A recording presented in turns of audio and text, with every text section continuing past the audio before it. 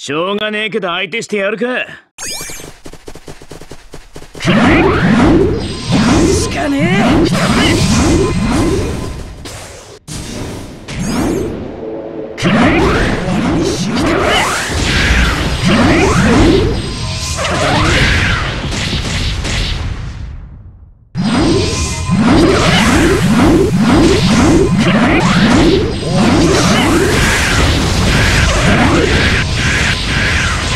It was at this moment that he knew. He fucked up. 俺の邪魔をするな